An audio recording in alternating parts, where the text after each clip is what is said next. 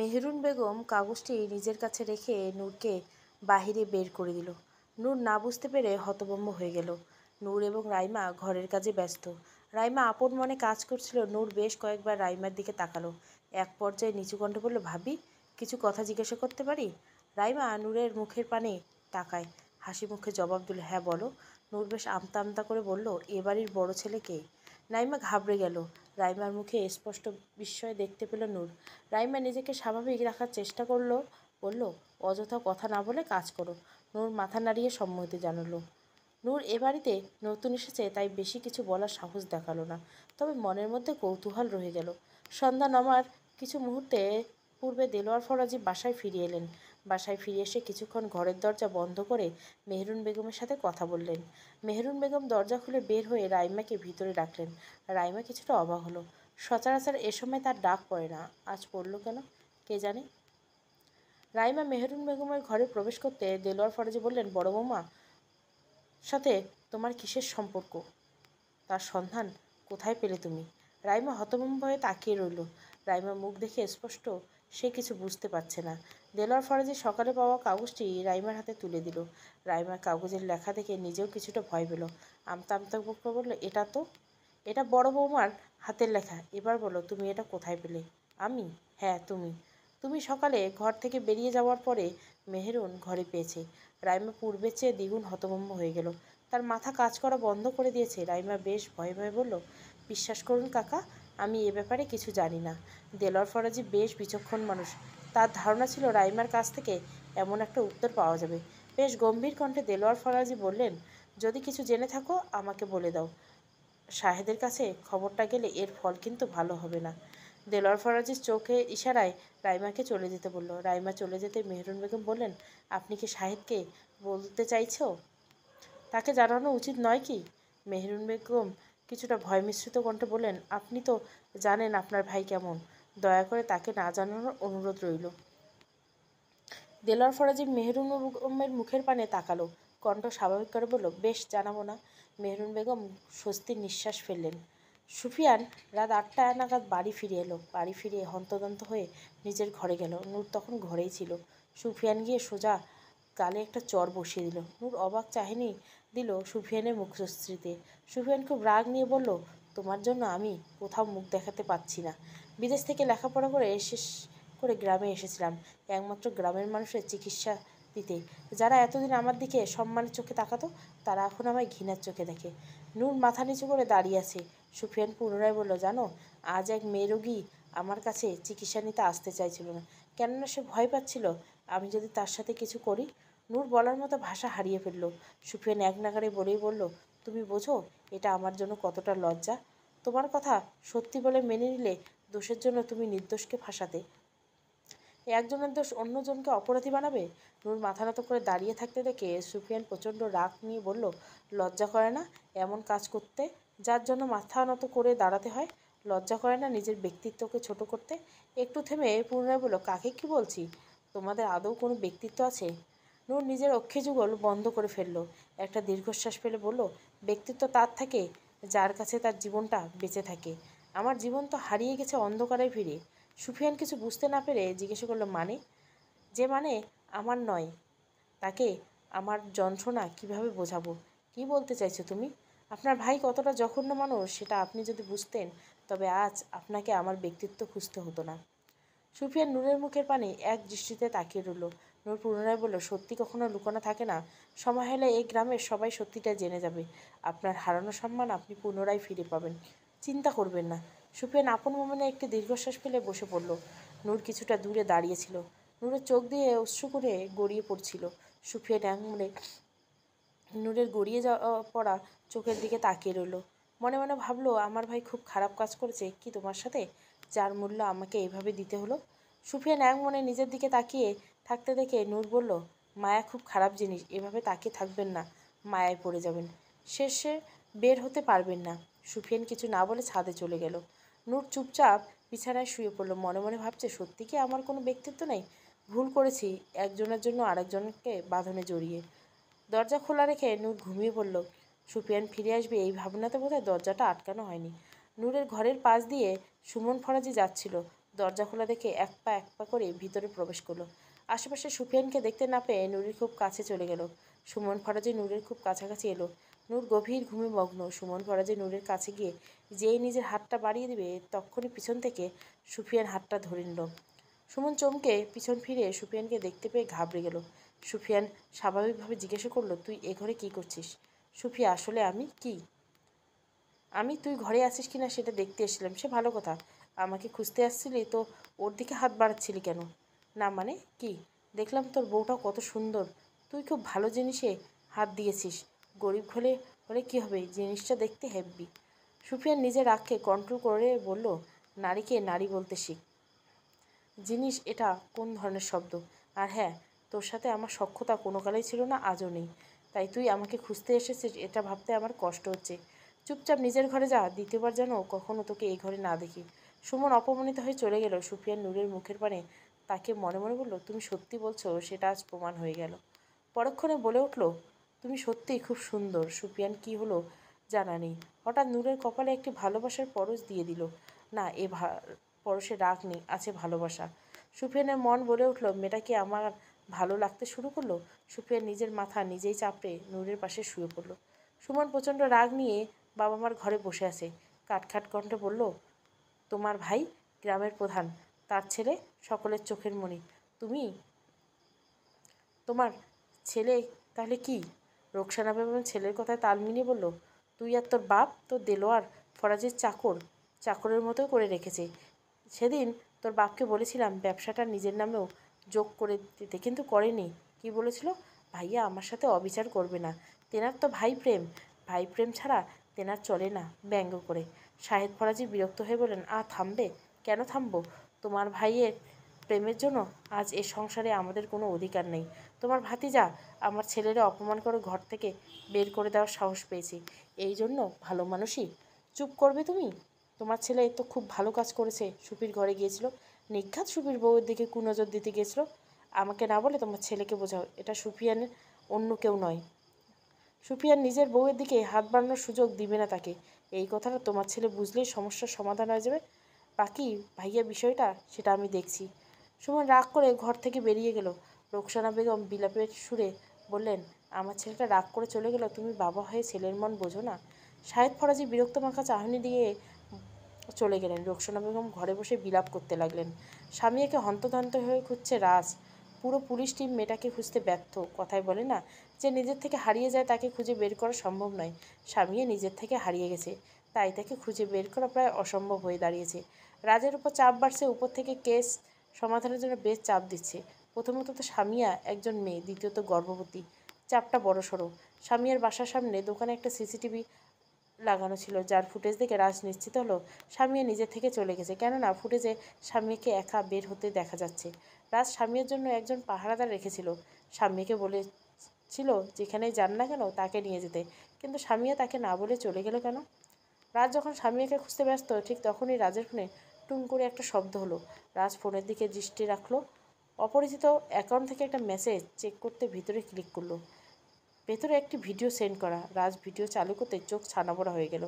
ভিডিওতে স্পষ্ট দেখা যাচ্ছে সালিয়া রফিকের চায়ে কোনো একটা ওষুধ মিশিয়ে দিচ্ছে। রফিক চা খাওয়ার কিছু মুহূর্তের মধ্যে অজ্ঞান হয়ে পড়ল। সালিয়া নিজ হাতে বড় ছুরি দিয়ে রফিকের গলাটা কেটে ফেলল। রাজ কয়েক মুহূর্তের জন্য হতভম্ব হয়ে গেল। ভিডিওটা শেষ করতে না করতে একটা মেসেজ আসলো। পুরো খেলাটা এভাবে সাজানো। বাকিটা তুমি বুঝে নিও। তুমি হয়তো ভাবতে পারো, আমি তোমাকে এটা কেন পাঠালাম? খুব সহজ উত্তর। এত সহজে তুমি আমার কাছে আসতে পারবে না। তুমি যখন আমার কাছে আসবে, তখন পুরো খেলাটা শেষ হয়ে যাবে। তবে তুমি বিশ্বাস করবে কি না আমি জানি না। আমি চাই তুমি আমার কাছে আসো। তুমি আমাকে খেলা শেষ হওয়ার পূর্বেই ধরে ফেলো। জানি পারবে না। তবু মন থেকে চাইছি তুমি আমার কাছে নিচ থেকে আসো। তাই তোমার জন্য একটা ছোট্ট ক্লু সামিয়া সালেহার খুনিকে মারতে গেছে। পারলে আটকাও। অ্যাকাউন্ট ডিজেবল বারবার চেষ্টা করো রাজ অ্যাকাউন্টে প্রবেশ করতে পারছে না। রাজের মাথা কাজ করা বন্ধ করে দিয়েছে। ক্লু অনুযায়ী এতটুকু পরিষ্কার, খুনি নিজ হাতে কাউকে খুন করছে না। সে যাদের মারতে চায়, তাদের দ্বারাই তাদের খুন করে। রাজের আনমনে বিড়বিড় করে বলছে, খুনি বেশ চতুর। তবে সে যেই হোক, তার কাছে আগে পৌঁছাবে। ডাক্তার কামালের বাসার ভিতরে প্রবেশ করতে থমকে গেলেন। রাজের চোখের সামনে কামালের রক্তাক্ত মৃতদেহ পড়ে আছে। তার পাশে ছুরি হাতে দাঁড়িয়ে সামিয়া। রাজ ভিডিওটা দেখার পর সাহেরা মানসিক হাসপাতালে কর্মরত ডাক্তার নার্সদের খোঁজ নিতে শুরু করেন। রাজের মস্তিষ্ক পূর্ব থেকে ধারণাও নিয়েছিল সাহেরা মানসিক হাসপাতালে কোনো ঘটনাকে কেন্দ্র করে এসব হচ্ছে, তাই সকল ব্যাপারে খোঁজ নেওয়া শুরু করল। যখন শুনলো ডাক্তার কামাল দুদিন ধরে হাসপাতালে আসছে না, সাথে ফোন বন্ধ, তখনই সন্দেহ হয় রাজের, কিন্তু রাজ কিছুই করতে পারল না। তার আসার পূর্বে যা হওয়ার তা হয়ে গেলে। স্বামীর মাটিতে বসে আছে রাজ সামনে এগিয়ে এলো। কামালের মৃতদেহ ময়নাতদন্তের জন্য পাঠিয়ে স্বামীকে থানায় নিয়ে এলো। স্বামী নির্ভর হয়ে বসে আছে, রাজ বারবার তাকে প্রশ্ন করেই যাচ্ছে, কিন্তু স্বামীও কোনো উত্তর দিচ্ছে না। রাজ স্বামীয়াকে নিজের সামলানোর সুযোগ দিল। রাজ চুপচাপ স্বামীর দিকে তাকিয়েছে। বেশ কিছুক্ষণ নীরবতা পরে স্বামীয়া বলল সালেহা রফিককে খুন করেছে কামাল সালেহা আর আমি কামালকে। খুনি আমাদের সবার দুর্বলতাকে ব্যবহার করে আমাদের দিয়ে সব কাজ করেছে। রাজ স্বাভাবিকভাবে বলল, বুঝতে পেরেছি। এখন বলুন, আপনার সাথে খুনি কীভাবে যোগাযোগ করছিল? ফোন করেছিল, তবে লাভ নেই। সে আগে থেকেই জানিয়ে দিছে ওই নাম্বার ট্র্যাক করে পাওয়া যাবে না। শুধু শুধু সময় নষ্ট। আপনাকে কীভাবে খুন করতে রাজি করেছে? সন্তানসহ আমাকে খুন করার হুমকি দিয়েছিল। আমি যদি খুন না করতাম, সে আমার সন্তানকে পৃথিবীর আলো দেখতে দিত না। রাজ একটা দীর্ঘশ্বাস ফেলে বলল, আপনার সন্তান জন্ম নেওয়ার পর তার কি হবে? আপনি যে কারণে খুন করুন না কেন? আপনি যে খুনি তা তো মিথ্যে নয়। আইনের চোখে আপনি অপরাধী। স্বামীকে কান্না করে দিল না নীরবে তাকিয়ে রইল। স্বামীকে সান্ত্বনা দেওয়ার ভাষা তার জানা নেই। নিজেকে সামনে মিসেস স্বামিয়া স্বামীয়া মাথা নড়ল। রাজ পুনরায় জিজ্ঞাসা করল, আপনাকে যে কল দিয়েছিল, সে মহিলা না পুরুষ? পুরুষ ছিল আচ্ছা। রাজ স্বামীর থেকে ফোন নাম্বারটি নিয়ে চলে গেল। হোক না, নষ্ট। তবু একবার দেখতে দোষ কী? রাজ এটা ভেবে চলে গেল, রাজ নাম্বারটা নিয়ে লোকেশন ট্র্যাক করার চেষ্টা করল। কিন্তু বিশেষ কোনো লাভ হলো না। একজন মৃত ব্যক্তির নাম্বার এটা। আর লোকেশন কুমিল্লা দেখাচ্ছে। সেখানে থেকেও খোঁজ নিয়েছে রাজ, কিন্তু কোনো লাভ হয়নি। মৃত ব্যক্তির পরিবার, পরিজন সম্পর্কে কোনো তথ্য পাওয়া যায়নি। রাজ যখন ব্যস্ত নগরীতে খুনের রহস্য খুঁজতে ব্যস্ত, তখনই রাজের জীবন ওলটপালট করে দিতে তার বন্ধু শ্যামল ফোন। ফোন তুলে হ্যালো বলতে ওপাশ থেকে শ্যামল খুব উদ্বিগ্ন কণ্ঠে বলে উঠল, তাড়াতাড়ি রুমে আয় রাজ। রাজ কিছুটা ঘাবড়ে গেল নিজেকে সামলে বাসায় ফিরে গেল। শ্যামলের জরুরি ডাক মানে বিশেষ কিছু ঘটেছে, সেটা বুঝতে পারল রাজ। শ্যামল হল রাজের বন্ধু, সাথে রুমমেট বলা চলে। দুজনের মধ্যে সক্ষতা বেশ গাঢ়। রাজ পুলিশ অফিসার আর শ্যামল একটা প্রাইভেট কোম্পানিতে কাজ করে। বেশ কিছুদিন হলো অফিসের কাজে শহর থেকে বাইরে ছিল শ্যামল। আজ ফিরে এসেছে, ফিরে এসে চমকে গেল। রাজ শ্যামলের কাছে চমকে যাওয়ার কারণ জিজ্ঞাসা করতে শ্যামল রাজকে একটি সিসিটিভি দেখাল। রাজ ভুরুকুসকে সিঁড়িটার দিকে তাকিয়ে রইল। শান্তকণ্ঠে জিজ্ঞাসা করল, এটাতে কি আছে? শ্যামল সিঁড়িটা চালু করল রাজের সামনে। রাজের পুরো পৃথিবী থেমে গেল। তার সামনে তার প্রিয় হাত পা বাঁধা অবস্থায় ছটপট করছে, কিন্তু সে কিছু করতে পারছে না। তার দিকে তাকিয়ে দেখা ছাড়া কিছু করার নেই। কেননা, সে তো ভিডিওতে দেখেছে সরাসরি নেই রাজ রেগে গিয়ে শ্যামলের করার ধরে ফেলল। প্রচণ্ড রাগে রাজ হিতে হিতে জ্ঞান হারিয়ে ফেলছে। রাজ রাগ নিয়ে বলছে, এসব কী হচ্ছে? আমার সাথে মজা? রাজ শান্ত হ আমি কিছুই জানি না, এটা তো আমি দরজার বাহিরে পেলাম। রাজ শ্যামলের কলার ছেড়ে দিল, সাথে সাথে তার ফোনে একটা অচেনা নাম্বার থেকে মেসেজ আসলো। রাজ মেসেজ পড়তে লাগল, তাতে লেখা ছিল, দুর্বলতা খুব খারাপ জিনিস, রাজ সাহেব। রাজ তৎক্ষণাৎ নাম্বারটা কল দিল, কিন্তু কেউ রিসিভ করল না। কল কেটে যেতে আরেকটা মেসেজ কল করবেন না, রাজ সাহেব? আমি সবসময় ব্যস্ত থাকি কল করলে বিরক্ত হই। রাজ সাথে সাথে রিপ্লাই করল, কি চাই তোমার? যদি বলি আপনার সাথে খেলতে চাই, কীরকম খেলা? স্বামীর সাথে যেমন খেললাম। রাজ থমেরে পড়ল। তার মানে এক্ষুনি যাকে রাজ খুঁজছে, কিন্তু তার সাথে রাজের কিসের শত্রুতা? সে রাজকে ব্যবহার কর, কেন করতে চাচ্ছে? রাজ নিজেকে সামলে লিখলো, আমার সাথে এসব করার মানে কি? আমি আপনার কি ক্ষতি করেছি? কিছুই না। আসলে সত্যি হলো, আমি নিজের হাতে কাউকে মারতে চাই না। সায়রা হাসপাতালে যারা ছিল, তাদের সবাইকে আমার ব্যবহার করা শেষ। হয়েছে কি? এখন তো আমার নতুন কাউকে দরকার, যাকে ব্যবহার করে আমি আমার কাজ করতে পারি। তাই আমি ভেবে দেখলাম আপনি যেহেতু আমাকে খুঁজছেন সেহেতু আমি আপনাকে ব্যবহার করি। আমার মন কেন জানি না বলে উঠল, এই খেলাটা খুব মজার হবে। রাজ রেগে মেগে বলল, আপনার মাথায় সমস্যা আছে? কি ভুলভাল ভুগছেন ঠিকই বলেছেন, আমার মাথায় সত্যি সমস্যা আছে। আপনার সাথে খেলতে না পারলেও আমার মাথাটা বেশ যন্ত্রণা করবে, তাই আমি খেলতে চাই। আমার থেকে কি চাই আপনার? আমাকে দিয়ে কি কাজ করাতে চান? বেশ কিছুক্ষণ পর রাজের ফোনে মেসেজ আসলো। আর সারা রাত আপনি ভাবুন আপনার দুর্বলতা ঠিক কতটা বড়? ভেবেচিন্তে দেখুন, আপনার প্রিয় মানুষটার জন্য আপনি আমার দেওয়া নিকৃষ্ট কাজগুলো করতে সক্ষম কিনা। যদি সক্ষম হন, তবে কাল সকালে আমাকে ছোট্ট করে লিখবেন, আমি রাজি। তারপর আমি আপনাকে আপনার কাজ বুঝিয়ে দিব। আর হ্যাঁ আমার নাম্বার ট্র্যাক করার বৃথা চেষ্টা দ্বিতীয়বার করবেন না। মনে রাখবেন, আমি না চাইলে আমার কাছে পৌঁছানো সম্ভব না। রাজ হতভম্ব হয়ে গেল। শ্যামল গিয়ে রাজের কাঁধে হাত রাখল। রাজ ভাঙা কণ্ঠে বলল, আমার সততার জীবন বোধহয় শেষ হতে চলল।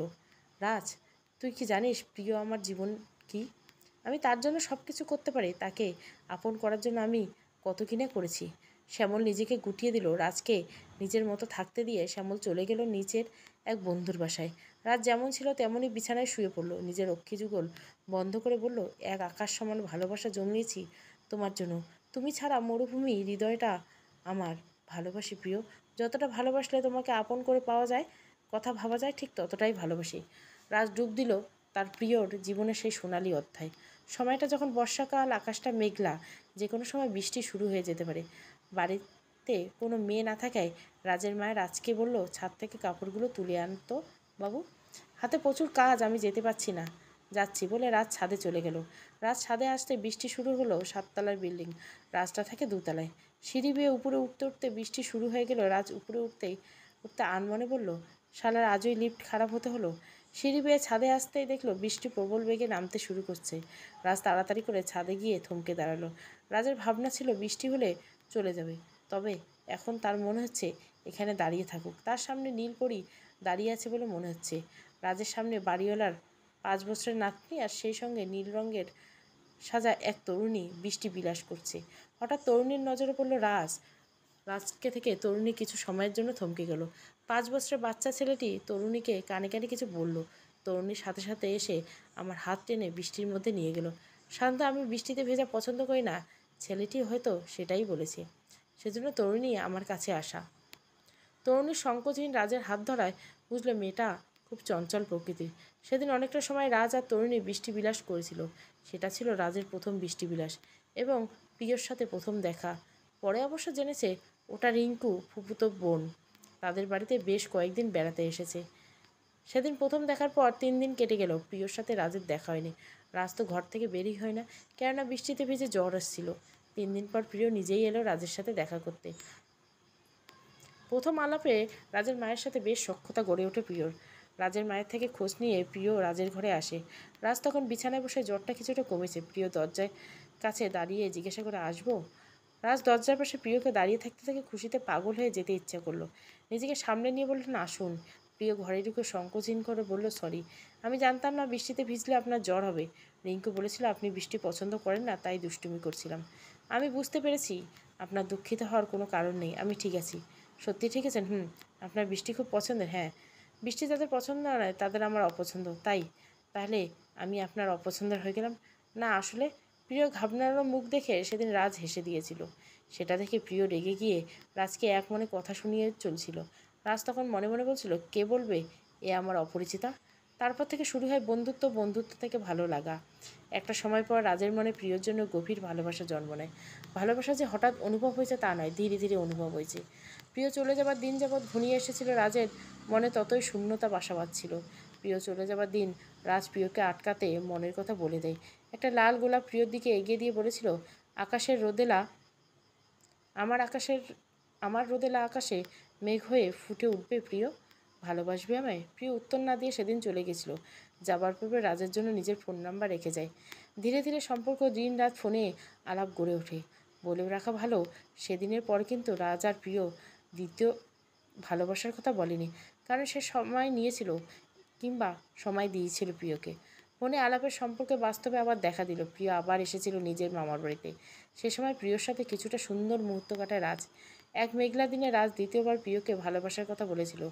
সেদিন প্রিয় জবাব দিয়েছিল, হয়তো জবাবটা ভালোবাসা ছিল না, তবে সম্মতি ছিল প্রিয় বলেছিল পরিণতিবিহীন সম্পর্ক আমি গড়তে চাই না। পরিণতি দেবে তো? মুখে পরিণত গড়া যায় না। সম্পর্ক পরিণতি পেলে পরিচয়ের প্রয়োজন হয় একটা।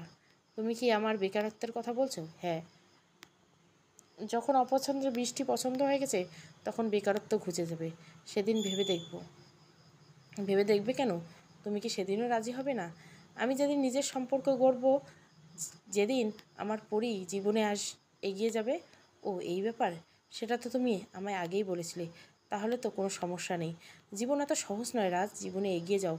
আমার থেকে ভালো কিছু তোমার জন্য অপেক্ষা করছে। কিন্তু আমি শুধু আমার প্রিয়র অপেক্ষা করব। তবে তোমাকে ততদিন অপেক্ষা করতে হবে যতদিন আমার পরীর জীবনকে গুছিয়ে না নেয়। বললাম তো করব। শেষবারের মতো বলছি, তুমি যতটা সহজ ভাবছ ততটা নয়।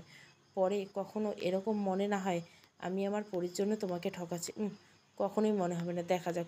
এভাবে প্রিয়র সাথে জীবন এগিয়ে যাচ্ছিল রাজের। পরির জীবনটা সুন্দরভাবে এগিয়ে গেছিল। তাই তো রাজ ভেবেছিল সামনে তার আর পরি- প্রিয়র পরিণয় সেরে উঠবে। এসব ভাবতে ভাবতে রাজ ঘুমের দেশে পাড়ি জমালো। দেলোয়ার ফরাজি মুখ কালো করে ঘরে আসলেন। দেলোয়ার ফরাজির মুখের করুণ ভাবভঙ্গি মেহরুম বেগমের ভালো ঠেকছে না। তিনি আস্তে করে জিজ্ঞাসা করলেন, কি হয়েছে? আপনার মুখ শুকনো দেখাচ্ছে কেন? দেলোয়ার ফরাজি গায়ে জোরে ঘরের দেওয়ালে একটা লাথি মারলেন। মেহরুন বেগম ভয় পেয়ে গেলেন। দেলোয়ার ফরাজি খুব কঠিন গলায় বললেন, ডাকো তোমার ছোট্ট ছেলেকে। তার জন্য আমার মান সম্মান সব নষ্ট হয়ে গেছে। সমাজে আমি মুখ দেখাতে পারছি না। মানে? তোমার ছেলে কুকর্তির জন্য আজ গ্রামের লোক আমাকে প্রধান হিসেবে মানতে দ্বিমত পোষণ করছে। তাদের মতে আমি নিজের ঘর সামলাতে পারি না, অন্যের ঘর কীভাবে সামলাবো?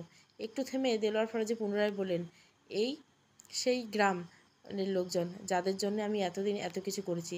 যাদের কথা ভেবে ওই চালচিলহীন গরিব রহিমের মেয়েকে ঘরের বউ করেছি। আজ অবধি যে মেয়ের সাথে ভালো মন্দ কথাও বলিনি। আজ সেই গ্রামের লোক আমার মুখের উপর কথা বলছে, এ সব কিছু তোমার জন্য হয়েছে। মেহরুন বেগম করুণ চোখে তাকিয়ে বলেন আমার জন্য?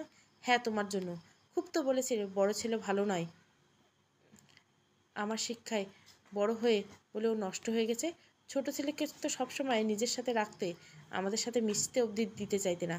সবসময় বলতে না, সে তোমার শিক্ষায় বড় হয়েছে, তাহলে এরকম একটা কাজ করল কেন? আমার ছেলে কিছু করেনি, যা কিছু হয়েছে সব আপনার ভাইয়ের চরিত্রহীন ছেলের জন্য মানে। মেহরুম বেগম রাগের মাথায় সব বলে দিল। দেলোয়ার ফরাজি এতে দ্বিগুণ রেগে গেলেন। এক ভাইয়ের দোষের জন্য অন্য ভাইকে ফাঁসিয়েছে আর তুমি তা মেনে নিয়েছো? আবার সেই মেয়ের সাথে হাসি মুখে কথা বলছো? হ্যাঁ বলি, ও যা করেছে তা হয়তো ভুল। কিন্তু আমি খুব ভালোভাবে জানি তোমার ভাইয়ের চরিত্রহীন ছেলের নজর যার উপর পড়েছে, তার জীবনটা কতটা নরকীয় হতে পারে। মেয়েটা যদি নরক থেকে বাঁচাতে আমার সুফিকে বেছে নেয়, তবে দোষ কী? দেলোয়ার ফরাজি গায়ের জোরে মেহরুন বেগমের গালে থাপ্পড় মারলেন। মেহরুন বেগম তাল সামলাতে না পেরে মাটিতে পড়ে গেলেন। দেলোয়ার ফরাজি রাগ নিয়ে বসার ঘরে আসলেন। চিৎকার করে বললেন, ছোট বৌমা ছোট বৌমা। নূর ততক্ষণে সেখানে চলে আসলো। নূরকে আসতে দেখে দেলোয়ার ফরাজি নূরকে বললেন, তোর সাহস কী করে হয় আমার নির্দোষ ছেলেকে ফাঁসানোর? ফাঁসিয়ে গ্রামের সকলের সামনে আমাদের ছোট করার? বাক্যটি বলে গায়ে হাত তোলার জন্য হাতটি তুলতে অবাক হয়ে গেলেন। তার মুখ দিয়ে কোনো কথা বেরোচ্ছে না। তিনি হাত তোলার সময় গ্রামের কিছু লোকজন ঘরের ভিতরে ঢুকে গেলেন।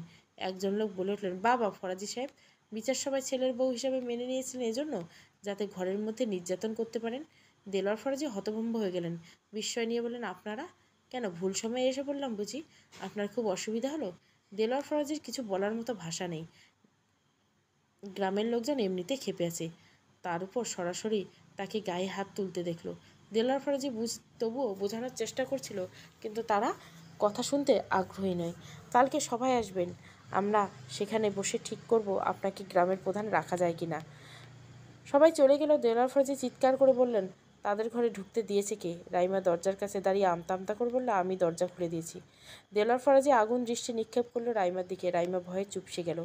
দেলোয়ার ফরাজি নূরের উদ্দেশ্য করে বলল, যা হয়ে গেছে, সেসব নিয়ে মাথা না ঘামাই। কাল আমি তোমাকে যা বলব, তাই সবাই বলবে নূর আস্তে করে মাথা নাড়লো। দেলোয়ার ফরাজি ঘরের মধ্যে চলে গেল। সুফিয়ান বাসায় ফিরল রাত করে। আজ রোগী দেখার বড্ড চাপ ছিল। ঘরে ফিরতে না ফিরতে রাইমা বলল, জানো, আজ কাকা তোমার বউয়ের গায়ে হাত তুলতে নিছিল কি? হ্যাঁ সে সময় গ্রামের লোকজন চলে আসে আর রাইমা সুফিয়ানকে সব বলে দেয়। সুফিয়ান হতভম্ব হয়ে নূরের কাছে যায়। নিজের ভাইয়ের কৃতকর্মের জন্য নূর সুফিয়ানকে ফাঁসিয়েছে আর তার জন্য নূরের প্রতি রাগ আছে। তাই বলে তার বাবা এমন একটা কাজ করবে সেটা সে কল্পনাও ভাবেনি। নূর ঘরে রক করে বসেছিল, নীরবে চোখের অশ্রু বিসর্জন দিচ্ছিল। এমন সময় সুফিয়ান ঘরে ঢুকলো। সুফিয়ান নূরের কাছে গিয়ে নূরের কাঁধে হাত রাখল। নূর পিছনে ফিরে সুফিয়ানকে দেখল। সুফিয়ান শান্ত কণ্ঠে জিজ্ঞাসা করল, আমি বাবার ব্যবহারের জন্য ক্ষমা চাইছি। ভুল তো আমারই, তাই ক্ষমা চেয়ে ছোট করবেন না প্লিজ ভুল করার পূর্বে এটা ভাবলে আজ এরকম হতো না, হুম। সুফিয়ান শান্ত কণ্ঠে নূরকে জিজ্ঞাসা করল, আমার ভাইয়ের নজর থেকে বাঁচাতে শুধু আমাকে ফাঁসিয়েছো নাকি অন্য কারও চাপে? নূর অবাক হয়ে সুফিয়ানের মুখশ্রী তাকালো। সুফিয়ান পুনরায় শান্ত ভাষায় বলল, আমাকে সত্যিটা বলতে পারো। নূর শব্দ করে কান্না করে দিল। সুফিয়ান দুহাত জড়িয়ে নিল। সুফিয়ান বলল, একটা অচেনা নাম্বার থেকে মেসেজ এসেছিল। তাতে তোমার বাধ্যতার কথা লেখা আছে। এবার অন্তত বলে। নূর নিজেকে সামলে বলল, সুমন ফরাজের নজর থেকে বাঁচার জন্য যখন উপায় খুঁজছিলাম, তখন আমার বাবার কাছে একটা ফোন আসে। ফোনের ওপাশ থেকে একটা আমার বোন কথা বলে ওঠে। পরক্ষণে অন্য একজন বলল, আপনার ছোট মেয়ে অবধি পৌঁছানো কতটা সহজ দেখেছেন? আমরা যা যা বলব তাই তাই করুন, নয়তো আপনার ছোট মেয়েকে মেরে ফেলতে আমাদের কোনো কষ্ট হবে না। বাবা হন্তদন্ত হয়ে সেদিন বোনের স্কুলে গেলেন, সেখানে গিয়ে বারবার জিজ্ঞাসা করছিল, তোর সাথে কে ছিল? কিন্তু ও বলতে পারল না। ছোট মানুষ তো? আমরা ভয় পেলেও রাজি হলাম না। তখন লোকটি আমার বোনকে সত্যি সত্যি তুলে নিয়ে যায়। বাবা, যতক্ষণ কাজটি করতে রাজি না হয়, ততক্ষণ আটকে রাখে। বাবা রাজি হওয়ার পর লোকটি আমার মাথায় হাত দিয়ে শপথ করতে বলে, বাবাকে যে কাজটি করবে। বাবা, তাই করল। তারপর বোনকে ছেড়ে দেয়। বোন শুধু কালো পোশাক পরা লোক ছাড়া কিছু বলতে পারল না। সেদিন রাতে আমরা আপনার সাথে এসব করি। সুফিয়ান আজ আর নূরকে অবিশ্বাস করল না, কেননা তার কাছে পূর্বে মেসেজ করে এসব কথা বলা হয়েছে। সুফিয়ান কল করল, তা রিসিভ হয়নি। তখন বাধ্য হয়ে সুফিয়ান মেসেজ লিখলো, আপনি এসব কেন করছেন? করছেন যখন? তখন আবার শিকারই বা কেন করলেন? উল্টো দিকের লোকটা তখন বলেছিল আমার উদ্দেশ্য আপনাকে ফাঁসানো ছিল না। ফরাজি বাড়ির সন্তান হয়ে আপনি যে পাপ করেছেন তার কিছুটা শাস্তি তো আপনাকে পেতে হবে। তবে আমার উদ্দেশ্য, আপনি কিংবা নূরের ক্ষতি নয়। তাই আপনাদের মধ্যে যাতে সুসম্পর্ক গড়ে ওঠে সেটার ব্যাপারে পরিষ্কার করে দিলাম। আপনার উদ্দেশ্য কি? আপনার সম্মানের সাথে জড়ানো, আপনার বাবার সম্মানটা নিয়ে খেলা করাটাই হলো আমার উদ্দেশ্য মানে। কি চান আপনি? শুনুন, তারপর থেকে কোনো মেসেজ আসেনি নম্বরটা কল দিলে বন্ধ। তারপর সুফিয়ান নিজে রহিম চাচার বাড়িতে যায়, সেখান থেকে একই কথা শুনে। তখন থেকে সুফিয়ান নূরকে ক্ষমা করে দিয়েছে। এখন তার উদ্দেশ্য অপরিচিত ওই ব্যক্তিকে খুঁজে বের করা।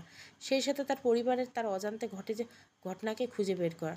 নূর সুফিয়ানের জড়িয়ে ধরে আছে বেশ কিছুক্ষণ। সুফিয়ান তার হাত জোড়া নূরের পিঠ স্পষ্ট করছে। সুফিয়ান নূরকে জড়িয়ে ধরে মনে মনে বলল, কোনটা সত্যি, কোনটা মিথ্যা আমি জানি না। আমি আমার সব দিয়ে চেষ্টা করব সত্যি, মিথ্যা খুঁজে বের করা। সুফিয়ান সেরাতেই গ্রামে তার বিশ্বস্ত বন্ধুকে খোঁজ নিতে পাঠিয়েছে। তাদের বাড়িতে ওই সময় গ্রামের লোকজন কেন এসেছিল এবং কে কে চায় তার বাবা গ্রামের প্রধান থাকুক? সুফিয়ান মন বলছে, এর মধ্যে কিছু জানা যাবে। ছাদের এক কোণে দাঁড়িয়ে মুক্ত আকাশ দেখছে সুফিয়ান। আকাশের পানে তাকিয়ে ভাবছিল, দমকা হওয়ার মতো জীবনটা বদলে গেল। একটা ঘটনা জীবনের গল্পটাই বদলে দেখল সত্যি মিথ্যার বেড়াজলে আটকে পড়ে গেছে জীবন। বেশ কিছুক্ষণ সুফিয়ানকে দেখতে না পেয়ে নূর ছাদে চলে গেল। নিঃশব্দে এসে সুফিয়ানের পাশে দাঁড়াল। সুফিয়ান নিশের পাশে কারও উপস্থিতি টের পেয়ে ঘুরে তাকালো। নূরকে দেখতে পেয়ে চুপচাপ আকাশের পানে মুখ ঘুরিয়ে নিল। দুটো মানুষ পাশাপাশি দাঁড়ানো। সম্পর্কের নামটা খুব গভীর, তবু একে অপরে অজানা।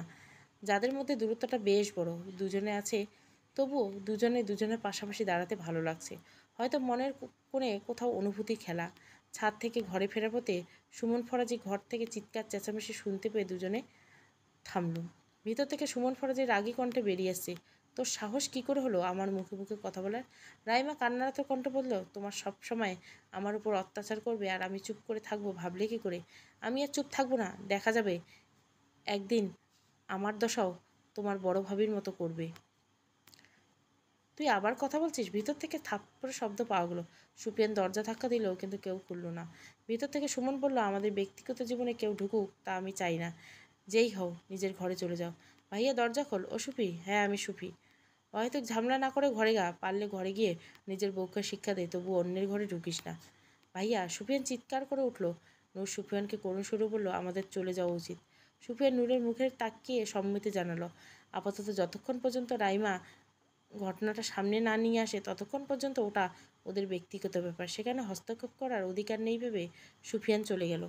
সকালে দেলোয়ার ফরাজি উঠানে বৈঠক বসেছে। গ্রামে প্রায় সব লোকেই সেখানে উপস্থিত দেলোয়ার ফরাজি ঠান্ডা মাথায় সবার উদ্দেশ্যে বলল, আমার কোনো সিদ্ধান্ত আজ অব্দি কারোর জন্য খারাপ হয়নি। আপনারা আমার সকল দিক বিবেচনা করেন, যে কোনো সিদ্ধান্ত জানাবেন। আমি আশা রাখছি কেউ একপাক্ষিক কোনো কথা বলবেন না। তা না হয় বুঝলাম, বড় সাহেব, আমরা আপনার সব সিদ্ধান্ত সবসময় মেনে এসেছি। এতে আমাদের লাভ বটে, ক্ষতি হয়নি। এক লোক বলল, পাশ থেকে অন্য একজন বলল তাই বলে আপনার সব সিদ্ধান্ত সঠিক বলে যে সবসময় শিক্ষা ঠিক তা কিন্তু নয়। আপনার শিক্ষায় ভুল আছে বলে আপনাদের সন্তানের পরিণতি এরকম হয়েছে। কথায় বলে বাইরে ঠিক করার পূর্বে ঘর ঠিক করা উত্তম। আপনি তো ঘর ঠিক করতে ব্যর্থ, সেখানে বাইরে ঠিক করে আসে রাখার অনুচিত বলে মনে হয়। আপনার ছেলে কুকর্ম করতে গিয়ে ধরা পড়েছে, তার কুকর্মের শাস্তি আপনি দিয়েছেন তো ঠিক। তবে বাড়ির ভিতরে আপনি বাড়ির ছোট বউ, ছেলের বউকে নির্যাতন করছেন, এটা কোন ধরনের শিক্ষা? আপনি গ্রাম প্রধান হয়ে যদি এমন করেন, তবে আমরা কি করব। দেলার ফরাজি বেশ বিচক্ষণ কণ্ঠে বললেন, সব সময় যা দেখা যায় তা সত্যি হয় না। আপনারা কাল যেটা দেখেছেন, সেটা হয়তো সত্যি, কিন্তু তার যে মানে বের করেছেন তা সত্যি নয়। তার মানে কালকের ঘটনা আপনি স্বীকার করছেন? না স্বীকার করছি না। ঘটনা আসল কারণটা জানাতে যাচ্ছি। আপনারা হয়তো আমার কথায় ভরসা পাবেন না, তাই আমি আমার বৌমার মুখের আসল সত্যিটা জানাতে চাই। দেলোয়ার ফরাজি, শাহেদ ফরাজি চোখ দিয়ে ইশারা করল। শাহেদ ঘরের ভিতরে চলে গেল। কিছুক্ষণ পর মেহরুন বেগম নূরকে নিয়ে সবাই এলো। সুফিয়ান সবাই উপস্থিত ছিল। সুফিয়ান তার বন্ধুকে ইশারা করে তার বন্ধু গ্রামের লোক, চারজন লোককে ইশারা দিল করল। সুফিয়ান তাদের দিকে তাকিয়ে মনে মনে বলল, আমার সন্দেহ ঠিক হলে এরা সব কিছুতে দ্বিমত পোষণ করবে। দেলার ফরজে নূরকে ইশারা করল, কালকের ঘটনা স্বীকার করতে। নূর স্বাভাবিক কণ্ঠে বলল, আসলে কাল শ্বশুরমশাই হাতটা আমার মাথায় আশীর্বাদ স্বরূপ তুলেছিল। কিন্তু আপনারা ভুল ভেবে নিয়েছিলেন। আমার স্বামী পুনরায় সঠিক পথে ফিরে আসায়। নিজের সব ভুল বুঝতে পেরে আপনারা আগেই যেমন তাকে চিনতেন, সেই রূপে ফিরে এসেছেন। যার জন্য শ্বশুরমশাই আমাকে আশীর্বাদ করেছিলেন, যাতে তার সন্তানকে আমি সঠিক পথ দেখাতে পারি। গ্রামের সহজ সরল মানুষগুলি নূরের এলোমেলো কথার বিশ্বাসযোগ্য বলে মনে হলো বাদ সাজলো সেই চারজন তাদের মধ্যে একজন বলল, ঘর থেকে শিখিয়ে পড়িয়ে আনা মুখস্থবিদ্যা নয় তো এগুলা। আপনারা ভুল বুঝছেন। আমরা কোনো ভুল বুঝছি না। আপনার ঘরে বধূ নির্যাতন আজ প্রথম নয়। এর পূর্বেও নির্যাতন হয়েছে। শাহেদ ফরাজি রেগে বলল, কী সব উল্টোপাল্টা কথা বলছেন? আমাদের ঘরের বধূরা খুব সুখী হয়, কারণ তারা ফরাজি বাড়ির খুব ভালোবাসা দিয়ে আপন করে নেয়। আপন করার নমুনা এটা? একজন লোক ফোন থেকে একটি ভিডিও চালু করলেন। তাতে কালকে রাতে সুমন রাইমার মধ্যে যা হয়েছে তা দেখা গেল। ফরাজি পরিবার থ মেরে গেল। এটা হচ্ছে আপনাদের বাড়ির আপন করার নমুনা, যেখানে বধূরা স্বামীর থেকেই সুখ পায় না। অন্য একজন বললেন, স্বামীর থেকে এভাবে নির্যাতিত হয়ে বোধহয় আপনার বড় বৌমা বড় ছেলেকে খুন করেছিল। মেয়েটা বাঘবিহীন ছিল বলে আপনারা তাকে পাগল বলে চালিয়ে দিয়েছিলেন, তাই তো? ভিডিও দেখার পর পুরো গ্রামবাসী ফরাজি বাড়ির বিপক্ষে চলে গেল। সবাই দেলোয়ার ফরাজিকে যা না, তাই বলে অপমান করতে লাগল। সবশেষে গ্রামের প্রধান থেকে সবাই দেলোয়ার ফরাজিকে বাদ দেওয়ার ঘোষণা করলেন। দেলোয়ার ফরাজি অপমানে আড়ালে আবডালে কেউ তৃপ্তির হাসি আসলো তার চোখের কোণে তৃপ্তির অশ্রু ধরা দেয়। সে মনে মনে বলে দেয়, প্রথম পদক্ষেপ পূরণ হলো, এবার জমবে আসল খেলা। দেলোয়ার ফরাজি থমথমে মুখে বসার ঘরে বসে আছেন। সামনে সুমন ফরাজি এবং রাইমা দাঁড়ানো। শাহেদ ফরাজি কঠিন গলায় বলল, তোদের ঘরের ভিতরের খবর বাইরে গেল কি করে? সুমন ফরাজি স্বাভাবিকভাবে বলল, সব এই বেটির কাজ। আমার তো মনে হয় দুধ কলা দিয়ে আমরা এতদিন কাল সব পুষেছি। এর মতিগতি আমার কয়েকদিন ধরে ঠিক লাগছে না। আমি নিশ্চয় এসব, এই মেটার কাজ। দেলোয়ার ফরাজি কঠিন চোখে রাইমার দিকে তাকালেন। রাইমা, সুফিয়ান সবাইকে শান্ত হতে বলে বলল, সুমন যেটা করেছে সেটা ঠিক করেনি। যদি কোনো মতে ঘটে যায়, তবে তার দায়ভার সুমনের উপর। আর এখন মাথা গরম করে লাভ নেই। তার চেয়ে বরং আমাদের সবার মিলে আসল সত্যিটা বের করা উচিত। সবাই সুফিয়ানের কথা সমর্থন করে ঘরে চলে গেলো। রাইমাও যেতে নিচ্ছিল। সুফিয়ান তাকে আটলো। শান্ত কণ্ঠে বলল, আমার ঘরে আসো। আমার কিছু কথা আছে তোমার সাথে। রাইমা চুপচাপ সুফিয়ানের ঘরের দিকে পা বাড়ালো। নূর সুফিয়ানের পাশাপাশি দাঁড়ানো সামনে রাইমা কালো মুখ করে দাঁড়িয়ে আছে। সুফিয়ান স্বাভাবিকভাবে জিজ্ঞাসা করল, আমি যখন পড়াশোনার জন্য বাইরে ছিলাম, তখন এখানে কী কী হয়েছিল? ভাবি, আপনার কাউকে ভয় পাওয়ার প্রয়োজন নেই। আপনি ভয়হীন হয়ে বলতে পারেন। আমি শুধু আপনার আড়ালে ঘটা গল্পটা জানতে চাই। দয়া করে আজ আমার থেকে কিছু আড়াল করবেন না। রাইমা চুপচাপ বসে আছে, তার মুখ দিয়ে কোনো কথা বেরোচ্ছে না। সকাল সকাল রাজের ফোনে মেসেজ চলে এলো। তাতে লেখা ছিল, রাজি আছো? রাজ সহজভাবে বলল হ্যাঁ আমাকে কি করতে হবে? ফরাজি গার্মেন্টস নাম শুনছেন? হ্যাঁ গার্মেন্টসের মধ্যে দেলোয়ার ফরাজি শাহেদ ফরাজি সুমন ফরাজি একসাথে যখন থাকবেন, রাজ কিছুটা ভয় নিয়ে বলল, তাদের মারতে হবে? হুম, তাদের সাথে একটু খেলতে হবে, মৃত্যুর খেলা। এটা এমন একটা খেলা যেখানে মৃত্যু আসবে মনে হলেও ঠিক আসে না মানে? সেটা বলে দেওয়া হবে। রাজ কিছুটা সাহস নিয়ে জিজ্ঞাসা করল, আপনি আমাকে দিয়ে এসব কেন করতে চাইছেন? জীবনে একটা অধ্যায় এড়িয়ে না গেলে আজ এই প্রশ্নটা করার প্রয়োজন পড়তো না তোমার। সেদিন যদি এড়িয়ে না যেতে, যদি একটা আগ্রহ দেখাতে তবে আজ তুমি নিজেই বুঝতে পারতে তোমার সাথে এসব কেন হচ্ছে। রাজ থম মেরে গেল, জীবনের অধ্যায় সে এড়িয়ে গেছে? কই, তার তো মনে পড়ছে না, কি এড়িয়ে গেছে সে? রাজ বেশ ভাবনায় পড়ে গেল রাইমা তখন থেকে চুপ করে আছে। রাইমা চুপ দেখে নূর বলল, আমি তাকে সমস্যা করে চলে যাচ্ছি। না, তেমন নয়। তুমি নতুন এসেছ ও তোমার সম্পর্কে সূচনা হয়েছে, তার গভীরতা পড়ো, তারপর পুনরু গল্প নিয়ে পড়ো। তাছাড়া যা কিছু হচ্ছে, তাতে ওসব ঘটনা জড়ানো নয়, তাই পুরনো কথা বাদ দেওয়াই ভালো। সুফিয়ান সন্ধিয়ান দৃষ্টি নিক্ষেপ করে বলল, ওই ঘটনা জড়ানো নয়, সেটা আপনি জানলেন কীভাবে? রাইমা থতমত খেয়ে গেল। তবুও নিজেকে সামনে নিয়ে বলল, তার তো কোনো আপনজন ছিল না, তাই মনে হচ্ছে। এসব তার সাথে জড়ানো নয়। সুফিয়ান কিছু বলতে চাইলেও রাইমা থামিয়ে দিয়ে বলল, এরপরও কিছু জানার থাকলে নিজের বাবা মাকে গিয়ে প্রশ্ন করো। সুফিয়ান চুপ করে গেল। রাইমা হন্তদন্ত হয়ে বেরিয়ে গেল। নূর সুফিয়ানকে প্রশ্ন করল, আপনি আপনার বড় ভাই তার স্ত্রীর কথা জানেন না? আমার বড় ভাই যখন বিবাহ করে, তখন আমি পড়ালেখার জন্য হোস্টেলে ছিলাম। বাবা মা কেন জানি আমাকে বিয়ের খবর জানায়নি। যখন বাড়িতে আসলাম, তখন জানতে পারলাম ভাইয়া বিয়ে করেছে। ভাবি পাগল ছিল, তা তারা বুঝতে পারেনি। ভাবি নিজের হাতে ভাইয়াকে মেরে ফেলেছিল। তারপর তারা তাকে মানসিক হাসপাতালে পাঠায়। মানসিক হাসপাতালে? হ্যাঁ সায়রা মানসিক হাসপাতাল। আমি একবার দেখা করতে যেতে চেয়েছিলাম কিন্তু কিন্তু তার আগে জানা গেল ভাবি পালিয়ে গেছে। হাসপাতাল থেকে খোঁজ নেওয়া হয়েছিল কিন্তু তাকে পাওয়া যায়নি। নূর বেশ ভাবনায় পড়ে গেল। সুফিয়ান যে ভাবনায় নেই, তা নয়, সেও ভাবনায় আছে। আর সবাই যখন তার ভাবিকে বাঘিন বলা হয়েছিল, তখন থেকে একটা প্রশ্ন মা সুফিয়ানের মাথায় ঘুরপাক খাচ্ছে। একটা মেসেজ পাঠানো মানুষ, কোনো ক্রমে তার ভাবি নয় তো? সুফিয়ান বিড়বিড় করে বলল, একবার সাহেরা মানসিক হাসপাতালে যাওয়া উচিত। বিড়বিড় করে বলল, নূর শুনতে পেল। নূর বলল, তার পূর্বে আপনাদের বাড়িতে তার সাথে কি হয়েছিল সেটা জানা জরুরি। সুফিয়ান ঘরে নূরের দিকে তাকালো, শান্ত কটে বলল, চলো দুজন মিলে স্বাভাবিকভাবে সংসার করি। একসাথে মিলে সমস্যার সমাধান করি। সমস্যার সমাধান করা যায় কিন্তু সংসার, সেটা করা যায় না। জোর করে জোড়া সংসার আদৌ হয়, কখনো স্বাভাবিক? যেখানে কিনা ভালোবাসা জন্ম হয়, চাইলে হয়। মানুষ মানিয়ে নেওয়া শব্দটা বেশি বিশ্বাসী। মানিয়ে নেওয়া, মেনে নেওয়া মধ্যে ধীরে ধীরে ভালোবাসা জন্ম নেয়। আমরা চাইলে আমাদের মধ্যে ভালোবাসা জন্মানো সম্ভব। ভালোবাসা না না, জন্মানো ভালো। ভালোবাসা তো বড় বেদনার ডাক। নূর এক মনে কথাটি বলল। সুফিয়ান জবাবে বলল, বেদনার অশ্রুতে পদ্ম ফুলে ফোটে কবিরা।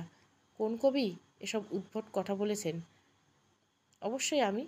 বাক্যটি বলে সুফিয়ান হেসে দিল, নুরু হাসলো। চলবে, ছোট সাহেব, দ্বিতীয় পর্ব। আর একটা পর্ব আসবে। থ্যাংক ইউ ফর ওয়াচিং ভালো লাগলে অবশ্যই লাইক শেয়ার এবং সাবস্ক্রাইব করবে।